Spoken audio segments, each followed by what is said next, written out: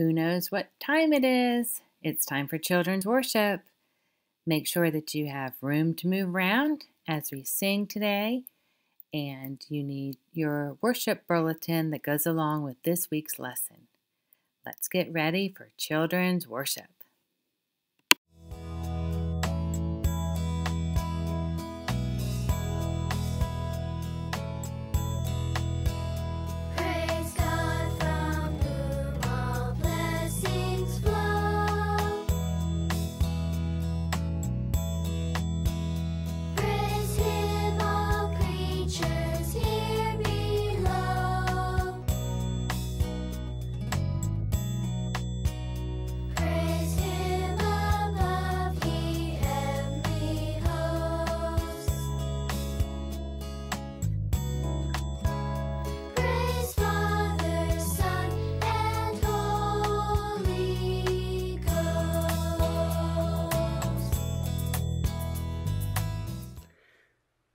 Sing the doxology together. Praise God from whom all blessings flow. Praise Him, all creatures here below. Praise Him above, the heavenly hosts. Praise Father, Son, and Holy Ghost. Amen.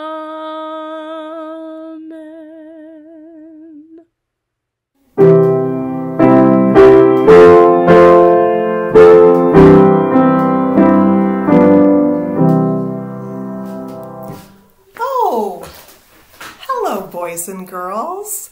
I'm Mrs. Hawks. Welcome to Children's Worship at Christ Community Church.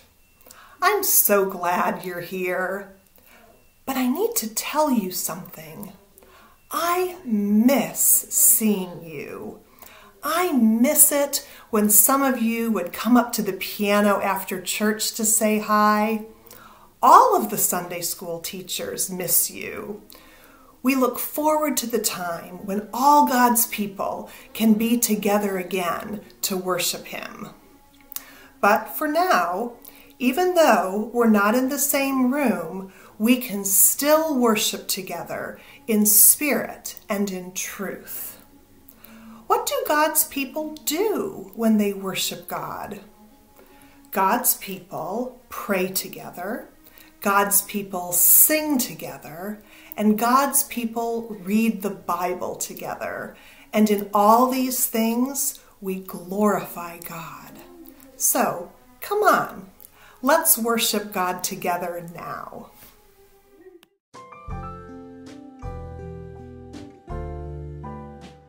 Good morning, kids of Christ Community Church. This is Rick Hawks in Albert Church. Welcome to your time of worship. Let's open this time with a word of prayer. Pray now with me. Lord, we thank you for this time together. We thank you for being able to come before you uh, to remember all that you have done for us and to worship you with thanksgiving and joy in our hearts. We thank you for the new life you give us in Jesus Christ, and in Jesus' name we pray. Amen.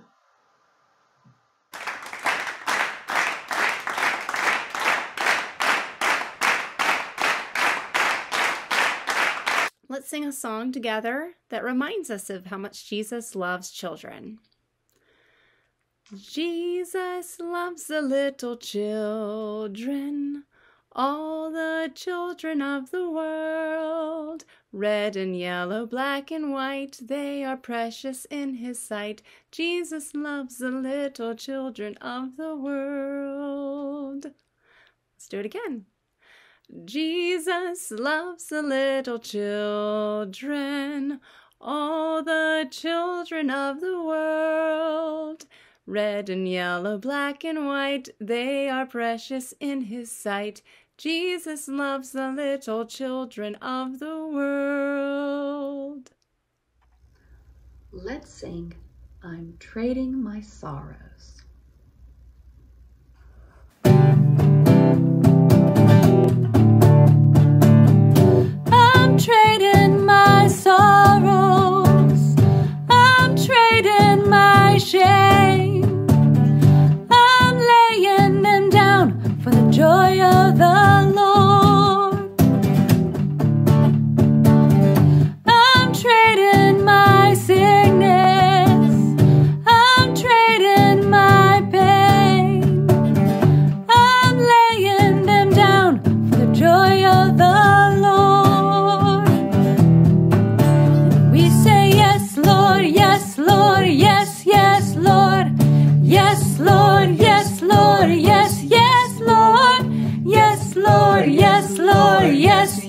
Lord,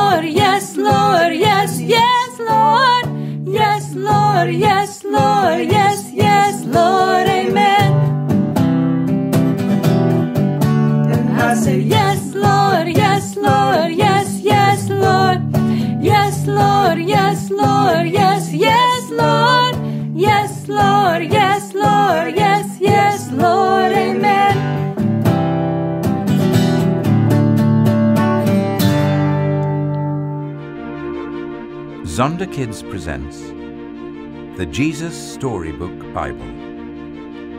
Every story whispers his name. Written by Sally Lloyd Jones and read by David Suchet.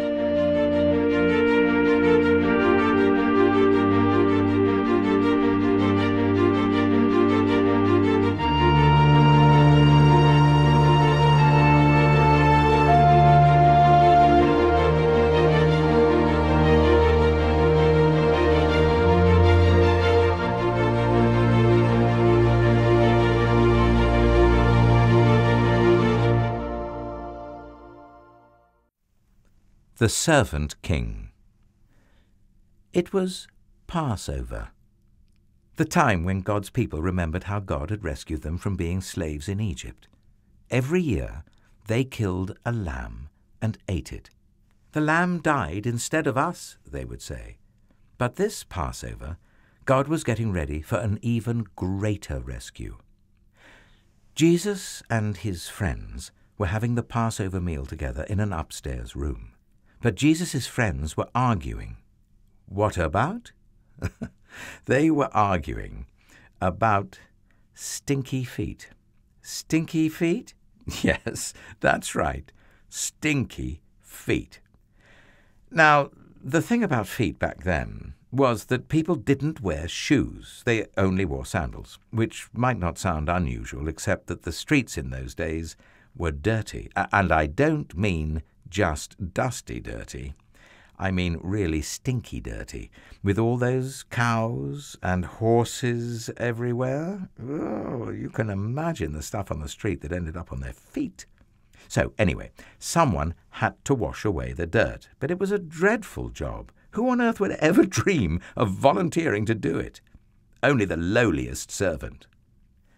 I am not the servant, Peter said. Nor am I, said Matthew. Quietly, Jesus got up from the table, took off his robe, picked up a basin of water, knelt down, and started to wash his friend's feet. You can't, Peter said. He didn't understand about Jesus being the servant king. If you don't let me wash away the dirt, Peter, Jesus said, you can't be close to me. Jesus knew that what people needed most was to be clean on the inside. All the dirt on their feet was nothing compared to the sin inside their hearts. Then wash me, Lord, Peter said, tears filling his eyes. All of me. One by one, Jesus washed everyone's feet. I am doing this because I love you. Jesus explained. Do this for each other. Now, one of Jesus' friends had made a bad plan. No one else knew what the bad plan was, but Jesus knew, and so did Judas. Judas was going to help the leaders capture Jesus for thirty pieces of silver. Go on, Judas. Jesus said. And Judas got up from the meal, left the room, and walked out into the night. Then Jesus picked up some bread and broke it. He gave it to his friends. He picked up a cup of wine and thanked God for it. He poured it out and shared it. My body is like this bread. It will break, Jesus told them. This cup of wine is like my blood. It will pour out. But this is how God will rescue the whole world. My life will break, and God's broken world will mend. My heart will tear apart, and your hearts will heal. Just as the Passover lamb died, so now I will die instead of you. My blood will wash away all of your sins, and you'll be clean on the inside, in your hearts. So whenever you eat and drink, remember, Jesus said, I've rescued you. Jesus knew it was nearly time for him to leave the world and to go back to God. I won't be with you long, he said. You are going to be very sad, but God's helper will come, and then you'll be filled up with a forever happiness that won't ever leave. So don't be afraid. You're my friends, and I love you. Then they sang their favorite song and walked up to their favorite place, an olive garden. Jesus is the servant king and the Passover lamb. He knew he had to die to rescue us.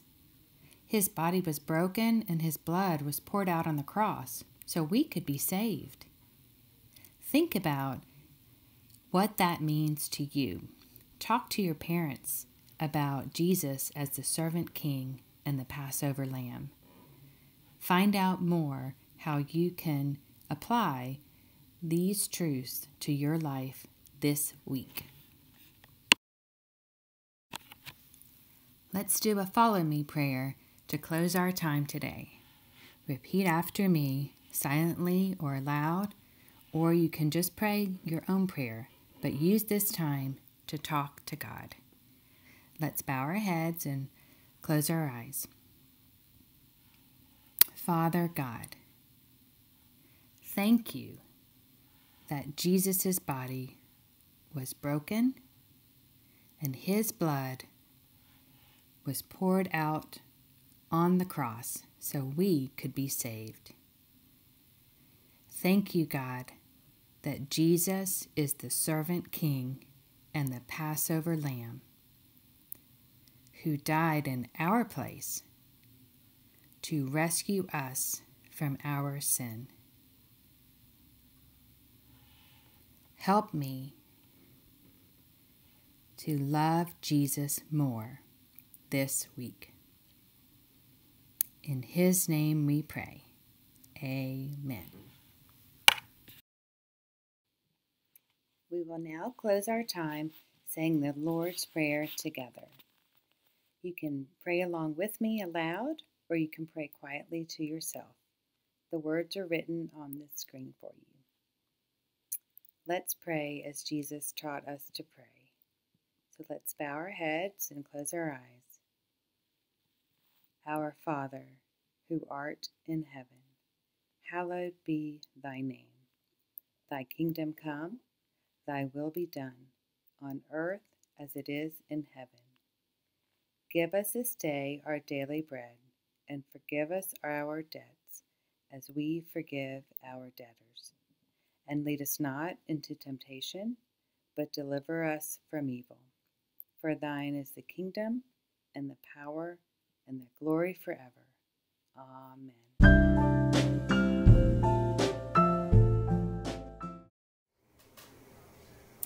I'm so glad you came to children's worship today, where God's people prayed together, God's people sang together, and God's people read the Bible together. Please tell your parents about what you learned today in children's worship. And if you had any questions about the Bible story, ask them to explain it to you. Now's a good time to get your coloring sheet and to work on that.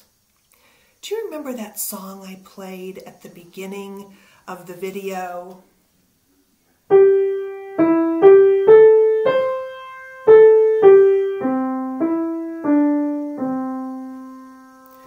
Could change the words just a little bit to say, Yes, Jesus loves me.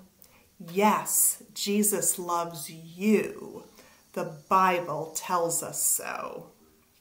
Have a good week, and I hope to see you soon.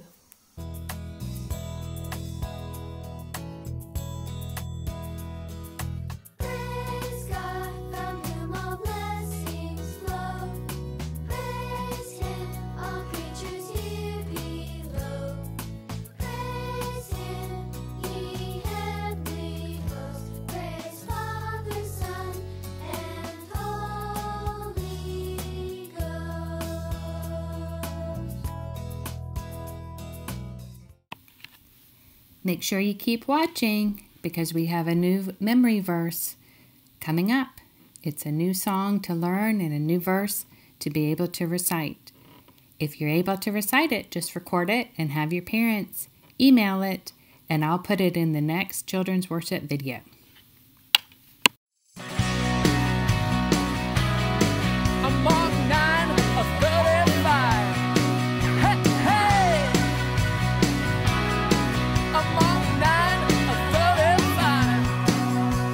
35. If